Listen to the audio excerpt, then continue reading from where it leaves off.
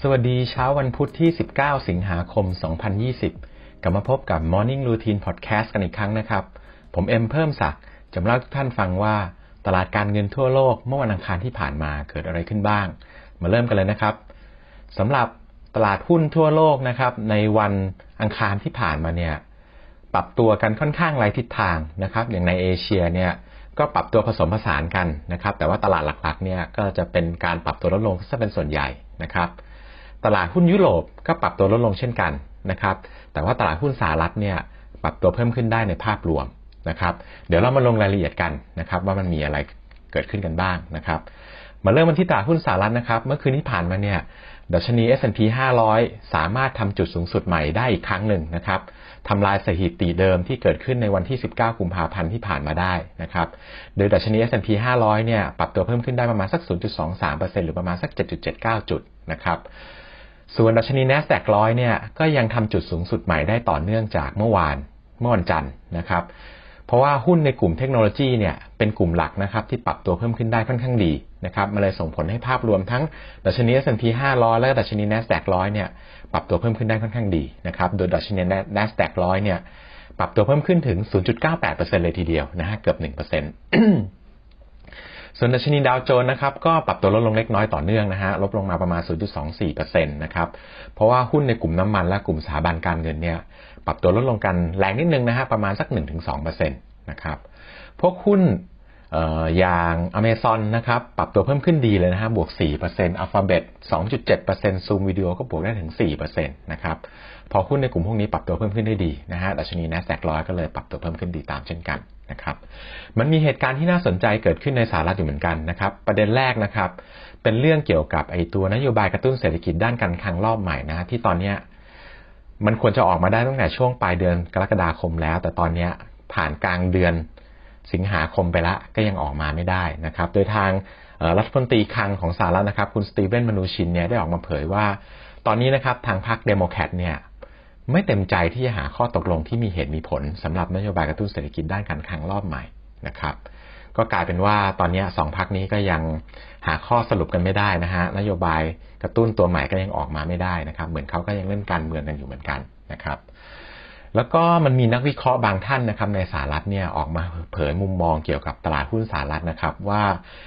นักลงทุนเนี่ยควรจะมีหุ้นที่ผันผวนต่ำหรือว่าเชิงรับนะครับอย่างพวกหุ้นในกลุ่มสินค้าอุปโภคบริโภคเพิ่มขึ้นบ้างนะฮะในช่วงต่อจากนี้นะครับ เนื่องจากว่าตอนนี้เนี่ยมันใกล้ที่จะถึงวันเลือกตั้งประธานาธิบดีสหรัฐในช่วงต้นเดือน พฤศจิกายนแล้วนะครับ และช่วงเวลาที่เหลือจากนี้ไปเนี่ย มันมีความเป็นไปได้ว่าประธานาธิบดีทรัมป์นะครับ อาจจะดำเนินนโยบายระหว่างประเทศที่แข็งก้าวขึ้นนะฮะซึ่งอาจจะส่งผลให้ตลาดเนี่ยมีความผันผวนมากขึ้นได้นะครับ ก็เป็นมุมมองที่น่าสนใจมุมมองหนึ่งเหมือนกันนะครับ ถัดมานะครับวอลมาร์ทนะฮะค้าปีกรายใหญ่ของโลกเลยนะฮะแล้วของสหรัฐเนี่ยประกาศผลการดำเนินงานในไตรมาสสองนะครับได้ดีกว่าที่ตลาดคาดไว้พอสมควรเลย โดยมีกำไรต่อหุ้นที่ 1.56 เหรียญนนะครับมากกว่าที่ตลาดคาดไว้ที่ 1.25 เหรียญอยู่พอสมควร นอกจากนี้นะครับยอดขายจากช่องทางออนไลน์เนี่ยก็เติบโตสูงถึง 97%เลยทีเดียวนะครับถือว่าโตสูงมากนะฮะสำหรับวอลมาร์ทแต่เมื่อคืนเนี่ยหุ้นวอลมาร์ทกลับปรับตัวลงเล็กน้อยนะครับ เพราะว่าก็คงปรับตัวเพิ่มขึ้นไปก่อนหน้านี้ละนะครับ มาที่ตลาดหุ้นเอเชียกันบ้างนะครับดัชนีตลาดหุ้นจีนนะครับปรับตัวลดลงเล็กน้อยนะฮะลบไปแค่ประมาณ 2.47 จุด หรือประมาณ 0.05%จริง ๆ แล้วเนี่ยตลาดหุ้นจีนเนี่ยอยู่ในแดนลบเนี่ยตลอดแทบจะตลอดทั้งวันเลย แล้วก็ลบมากกว่านี้พอสมควร แต่ว่าในช่วงนาทีท้ายๆอยู่ดีมันก็ปรับตัวเพิ่มขึ้นมาได้นะครับมันเลยติดลบเพียงเล็กน้อยนะฮะปัจจัยหลักที่ทำให้ตลาดหุ้นจีนปรับตัวลดลงนะครับมันมาจากแรงขายทำกำไรระยะสั้นซะมากกว่า เนื่องจากตลาดหุ้นจีนในวันศุกร์และวันจันทร์ที่ผ่านมาเนี่ยสองวันรวมกันนะครับ ตลาดหุ้นจีนเนี่ยปรับตัวเพิ่มขึ้นมาเกือบ4%นะฮะมันก็เลยมีแรงขายทองกำไรระยะสั้นออกมาออกมาบ้างนะครับ มันมีความเคลื่อนไหวที่น่าสนใจนะครับ ตรงที่ว่าคุณวิลเบอร์รอสนะครับที่เป็นรัฐมนตรีกระทรวงพาณิชย์ของสหรัฐนะฮะได้ออกมาเผยว่าตอนนี้เนี่ยทางสหรัฐนะครับยังคงโฟกัสไปที่แอป TikTok เป็นหลักอยู่นะครับแล้วก็ยังไม่ได้มีความเคลื่อนไหวอะไรอย่างเป็นทางการนะครับ ต่อแอปต่างๆนะฮะโดยเฉพาะแอปจากของฝั่งอาลีบาบา นะครับ ปัจจัยนี้เนี่ยมันเลยส่งผลให้หุ้นเทคโนโลยีที่อยู่ในตลาดหุ้นฮ่องกงนะครับ ปรับตัวเพิ่มขึ้นกันได้ค่อนข้างดีนะฮะเดี๋ยวผมจะลงรายละเอียดให้อีกทีหนึ่งนะครับ ตอนพูดถึงตลาดหุ้นฮ่องกงถัดมานะครับมันมีการเผยตัวเลขการถือครองพันธบัตรสหรัฐนะฮะในเดือนพิถุนายน ปรากฏว่าจีนเนี่ยมีการลดการถือครองพันธบัตรสหรัฐลงมาประมาณสัก 9,000 ล้านเหรียญนนะฮะ ตอนนี้เหลือที่ 1.074 ล้านล้านเหรียญก็ยังถือว่าเยอะมากอยู่ดี นะครับ ตามรายงานล่าสุด ณ ตอนนี้นะครับถึงแม้ความสัมพันธ์ระหว่างสหรัฐ และจีนเนี่ยจะไม่ดีก็ตาม แต่ว่าจีนเนี่ยก็ยังถือครองพันธบัตรสหรัฐในปริมาณสูงอยู่ดีนะครับ ปัจจุบันนะครับ ถือครองพันธบัตรสหรัฐมากเป็นอันดับสองของโลกนะฮะรองจากญี่ปุ่น หุ้นในกลุ่มผู้ผลิตยาแล้วก็ผู้ผลิตสุรานะครับยังสามารถปรับตัวเพิ่มขึ้นส่วนตลาดได้นะฮะส่วนหุ้นในกลุ่มผู้ผลิตสินค้าเทคโนโลยีนะครับปรับตัวลดลงกันเป็นส่วนใหญ่ แต่ก็ไม่ได้รุนแรงอะไรมากนัก นะฮะมาที่ตลาดหุ้นฮ่องกงกันบ้างนะครับ ดัชนีห่างเซ็งนะฮะปรับตัวเพิ่มขึ้นเล็กน้อยนะฮะบวก 20 จุดหรือ 0.08%เท่านั้นนะครับ เดี๋ยวมาเน้นกันที่ตลาดหุ้นเออดัชนีห่างเซ็งเทคอินเด็กกันดีกว่า ดัชนีห่างเซ็งเทคอินเด็กเนี่ยปรับตัวเพิ่มขึ้นถึง 120 จุด หรือประมาณสัก 1.7%เลยทีเดียว หุ้นในกลุ่มเนี่ยปรับตัวเพิ่มขึ้นได้อย่างโดดเด่นนะครับ หลังรัฐมนตรีพาณิชย์ของสหรัฐนะครับ ออกมาเผยว่าตอนนี้ยังไม่ได้มี แผนที่จะไปเขาเรียกว่าไปควบคุมอะไรต่างๆ แอปอื่น ๆ ที่นอกจาก TikTok หรือว่า WeChat ที่ออกมาเผยในก่อนหน้านี้นะครับมันเลยส่งผลให้พวกหุ้นในกลุ่มเทคโนโลยีเนี่ยปรับตัวเพิ่มขึ้นกันได้ดีเลยนะฮะมีความเคลื่อนไหวอีกอย่างหนึ่งที่น่าสนใจนะครับ คุณลารีเอลิสันนะฮะที่เป็นมหาเศรษฐีเจ้าของบริษัท Oracle นะครับ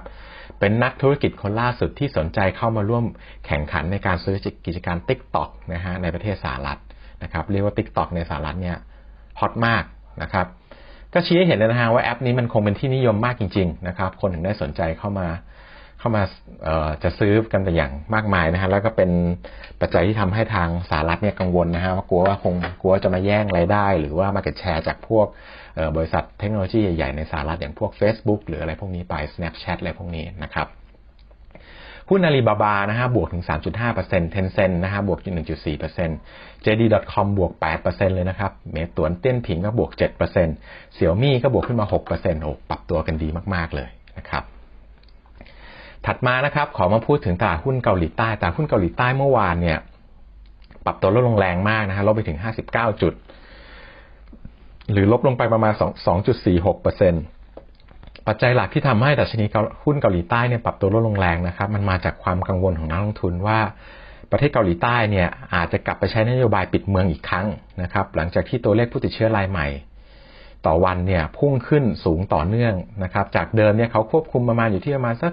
เออสี่สิบห้าสิบไม่ค่อยเกินนี้อยู่ดีตอนนี้มันพุ่งขึ้นมาเป็นระดับแบบสองสามร้อยคนต่อวันแล้วนะครับ มันเลยส่งผลให้ตอนนี้นักลงทุนเนี่ยเกิดความกังวลนะครับ แต่ว่านักลงทุนต่างชาตินะครับก็ยังซื้อสุทธิเข้ามา 60 ล้านเหรียญนนะครับก็คงเห็นมันปรับตัวลดลงแรงมากนะครับก็เลยมีการซื้อหุ้นขึ้นมาแต่ก็เล็กน้อยนะครับ ส่วนความเคลื่อนไหวที่น่าสนใจในเศรษฐกิจเกาหลีใต้นะครับมันเป็นเรื่องของบริษัทเกี่ยวกับบริษัทประกันชีวิตกฎหมายใหม่นะครับสำหรับควบคุมบริษัทประกันชีวิตนะครับ อาจส่งผลให้บริษัทประกันชีวิตที่ใหญ่ที่สุดในประเทศเกาหลีใต้เนี่ยที่ชื่อว่า Samsung Life นะครับ อาจจะต้องมีการขายหุ้น Samsung Electronics ออกมา ออกต้องขายออกมาเยอะด้วยนะครับ คืออย่างนี้ฮะเดิมเนี่ย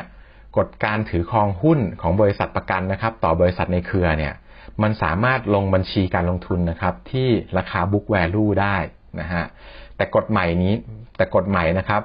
เขาจะบังคับให้บริษัทอย่าง Samsung Life ที่ถือ Samsung Electronic เนี่ยต้องลงราคานะครับ ลงบัญชีในราคาที่เป็นราคาปัจจุบันราคาตลาด นะฮะซึ่งจะส่งผลให้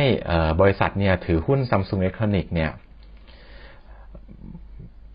มีมูลค่ามากกว่า 3%ของสินทรัพย์ทั้งหมดของบริษัทนะครับ ซึ่งผิดกฎการลงทุนนะฮะซึ่งปัจจัยนี้เนี่ยมันอาจจะทำให้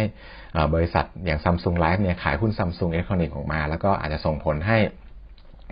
ราคาหุ้นซัมซุงอิเล็กทรอนิกส์เนี่ย มีความผันผวนในระยะสั้นได้ แต่เมื่อวานเนี่ยถึงแม้แต่หุ้นเกาหลีใต้จะปรับตัวลดลงแรงนะครับ แต่บริษัทซัมซุงอิเล็กทรอนิกส์เนี่ยก็ยังปรับตัวเพิ่มขึ้นได้เล็กน้อย 0.7%นะครับ ส่วนบริษัทซัมซุงไลฟ์เนี่ยลดไปเกือบ 10%เลยทีเดียวนะฮะ ส่วนพวกหุ้นในกลุ่มสถาบันการเงินนะครับ อย่าง KB Financial ก็ลดไป 4%นะครับ ไอหุ้นที่เกี่ยวกับสายการบินอย่าง Korean Airline ก็ลดไป 6.4%เช่นกันนะฮะ ความกังวลในเรื่องการแพร่ระบาดระลอกใหม่นะครับในเกาหลีใต้กลับมาแล้วนะครับ มาที่ตลาดหุ้นยุโรปนะครับตลาดหุ้นยุโรปเนี่ยก็ปรับตัวลดลงทุกตลาดเลยนะครับแต่ปรับตัวลดลงไม่ได้แรงมากอะไรนะครับการเคลื่อนไหวของดัชนีเนี่ยค่อนข้างผันผวนนะครับโดยเปิดมาลบนะฮะแล้วก็พอหุ้นในกลุ่มที่เกี่ยวกับการท่องเที่ยวเนี่ยเริ่มมีการฟื้นตัวนะครับภาพรวมก็เลยฟื้นตัวขึ้นมาได้นะฮะแต่พอมันตลาดภาคบ่าย ดัชนีก็ปรับตัวลดลงอีกครั้งนะครับแล้วก็ปิดที่ระดับติดลบไป ดัชนีสต็อก600นะฮะลบไป 2.08 จุดหรือประมาณสัก0.56%นะครับ หุ้นในกลุ่มเทคโนโลยีนะฮะปรับตัวลดลงเพียงเล็กน้อยเท่านั้นนะฮะบางตัวปรับตัวเพิ่มขึ้นได้เล็กน้อยด้วยเช่นกันนะครับถึงแม้ว่าตลาดถึงแม้ว่ากลุ่มอุตสาหกรรมต่างๆจะปรับตัวลดลงนะฮะแต่ส่วนใหญ่ก็ไม่ได้ปรับตัวลดลงแรงอะไรนะฮะที่แรงหน่อยเนี่ยก็จะมีแค่กลุ่มสถาบันการเงินแล้วก็สินค้าฟุ่มเฟือยเท่านั้นนะครับมันมีความน่าสนใจจากนักกลยุทธ์ของ Commerce Bank ในเยอรมนีนะครับได้ออกมาเผยถึงมุมมองว่า ณตอนนี้นะครับ สภาพคล่องเนี่ยมีความสำคัญมากกว่าการเติบโตของรายได้บริษัทนะครับสำหรับตลาดหุ้นในขณะนี้ และและปัจจุบันเนี่ยตลาดหุ้นทั่วโลกนะครับมีการเติบโตของปริมาณเงินที่สูงเป็นประวัติการทั้งในสหรัฐ และก็ยุโรปเป็นหลักนะฮะปัจจัยจากปัจจัยตรงนี้เนี่ยเขามองว่ามันเป็นปัจจัยหลักเลยที่ขับเคลื่อนตลาดหุ้นทั่วโลกในตอนนี้นะครับ ราคาทองคำนะครับปรับตัวเพิ่มขึ้นได้ดีเป็นวันที่ 2 ติดต่อกัน แล้วก็มาปิดที่ระดับเหนือ 2,000 เหรียญได้อีกครั้งโดยราคาทองคำ spot นะครับมาปิดที่ 2,002 เหรียญนะฮะปรับตัวเพิ่มขึ้น 17 เหรียญหรือประมาณสัก 0.86%โดยมีปัจจัยสนับสนุนมาจากค่าเงินดอลลาร์ที่อ่อนตัวนะฮะ โดย US Dollar Index เนี่ยมาปิดที่ 92.30 จุดนะฮะ หรือลบไป 0.59%มาที่มุมมองของค่าเงินนะครับของดรโจ๊กจิติพลนะครับ ล่าสุดนะครับ ค่าเงินดอลลาร์ที่อ่อนค่าลงเนี่ยสู่ระดับต่ำที่สุดนับตั้งแต่เดือนพฤษภาคม 2 ปี 2018 นะครับ โดยที่ไม่มีข่าวอะไรใหม่ๆออกมานะครับ ขณะที่บอลยูสหรัฐอายุ 10 ปีเนี่ยก็ปรับตัวลดลงมาที่ระดับ 0.66 ถึง 0.67%นะครับ สะท้อนภาพตลาดที่เชื่อว่านโยบายการเงินเป็นสิ่งเดียวที่สหรัฐเนี่ยสามารถทำได้ในตอนนี้นะครับส่วนค่าเงินบาทนะฮะระยะสั้นเนี่ยก็ยังไม่ได้แข็งค่าสะท้อนภาพดอลลาร์ที่อ่อนค่านะครับ เท่าในช่วงปกติที่ผ่านมา เนื่องจากตลาดมีความกังวลกับการฟื้นตัวของเศรษฐกิจไทยนะครับแต่อนาคตนะครับเดี๋ยวก็ต้องมาดูกันอีกที แต่ตอนนี้เท่าที่เห็นนะครับ เวลาดอลลาร์อ่อนมากๆ ค่าเงินบาทไทยก็ไม่ค่อยจะแข็งขึ้นมาสักเท่าไหร่ สุดท้ายนะครับตลาดหุ้นไทยตลาดหุ้นไทยเนี่ยเมื่อวันอังคารที่ผ่านมาปรับตัวเพิ่มขึ้นได้ถือว่าค่อนข้างดีนะครับ ถึงแม้ระหว่างวันจะมีความผันผวนบ้าง แต่ว่าก็อยู่ในแดนบวกได้ตลอดนะครับ นักลงทุนเนี่ยเริ่มคลายความกังวลเกี่ยวกับเรื่องการเมืองนะที่มีความผันผวนมากขึ้นในช่วงที่ผ่านมานะครับ แล้วก็นักทุนต่างชาติและสถาบันเนี่ยก็ซื้อสุทธิด้วยเช่นกันนะครับแต่ชนิดเซ็นเด็กนะครับปรับตัวเพิ่มขึ้น 9.20 จุดหรือประมาณ 0.7%หุ้นในกลุ่มขนส่งมวลชน ธนาคารขนาดใหญ่อิเล็กทรอนิกส์และก็สินค้าเกษตรปรับตัวเพิ่มขึ้นได้ดีนะครับอย่าง AOT เนี่ยบวกขึ้นมา 1.8% BTS ก็บวกขึ้นมา 1.9% STGT นะครับหุ้นถุงมือยางนะฮะที่ปรับตัวลงแรงก่อนหน้านี้โอ้ปรับตัวเพิ่มขึ้น 14.5%เลยทีเดียว ปรับตัวเพิ่มขึ้นดีนะครับนักทุนต่างชาติซื้อสุทธิ 530 ล้านบาทนะครับ แล้วก็ได้ลองทีเฟกเข้ามา 13,314 สัญญา ก็ถือว่าเป็นภาพที่ดีนะครับ ที่ทั้งซื้อสุทธิแล้วก็ลองทีเฟกนะครับ ภาพรวมตลาดหุ้นทั่วโลกก็เป็นประมาณนี้นะครับ เดี๋ยวผมขอสรุปให้อีกครั้งว่ามีประเด็นอะไรที่น่าสนใจบ้างนะฮะ แต่ชนิด S&P 500 นะครับปิดที่ระดับสูงสุดใหม่ได้สำเร็จนะครับหุ้นในกลุ่มเทคโนโลยีปรับตัวเพิ่มขึ้นกันได้ดีนะฮะส่งผลให้ดัชนี NASDAQ NASDAQ 100เนี่ยทำจุดสูงสุดใหม่ได้ด้วยเช่นกันนะครับประเด็นที่2นะครับราคาทองคำกลับมาปิดที่ระดับเหนือ 2,000 เหรียญได้อีกครั้ง หลังค่าเงิน US ดอลลาร์เนี่ยอ่อนค่าต่อเนื่อง รวมถึงผลตอบแทนพันธบัตรสหรัฐอายุ 10 ปีเนี่ยปรับตัวลดลงมาที่ระดับ 0.67%ด้วย สุดท้ายนะครับคุณอลันกีนสแปนนะฮะอดีต นะครับประธานเฟดได้ออกมาเผยมุมมองนะครับ โดยเขาให้ความเห็นว่าสหรัฐเนี่ยล้มเหลวในการรับมือการแพร่ระบาดของโควิด -19 นะครับ ซึ่งปัจจัยนี้เนี่ยมันเป็นปัจจัยถ่วงต่อเศรษฐกิจสหรัฐ และทำให้ประเทศนะครับเสียเปรียบในการแข่งขันกับจีนในระยะยาว ซึ่งจีนเนี่ยเกิดการแพร่ระบาดก่อน แล้วก็คุมได้ก่อน ฟื้นตัวกลับมาได้และฟื้นตัวกลับมาได้อย่างรวดเร็วนะครับ รวมถึงยังควบคุมการแพร่ระบาดรอบใหม่เนี่ยได้เป็นอย่างดี ซึ่งสหรัฐเนี่ยยังไม่สามารถทำได้ ซึ่งปัจจัยนี้เนี่ยทางคุณปู่อลันกินสแปนนะครับ เชื่อว่าในระยะยาวนะครับ มันจะทำให้สหรัฐเนี่ยเสียเปรียบจีนในการแข่งขันเรื่องการเป็นผู้นำด้านเศรษฐกิจเนี่ยมากขึ้นเรื่อยๆนะครับสำหรับภาพรวมของตลาดการเงินตลาดหุ้นทั่วโลกนะครับในวันอังคารที่ผ่านมาก็มีประเด็นและปัจจัยประมาณนี้นะครับ ขอขอบคุณที่รับฟังนะครับ แล้วเดี๋ยวพบกันใหม่ในวันพรุ่งนี้ วันนี้ขอลาไปก่อน สวัสดีครับ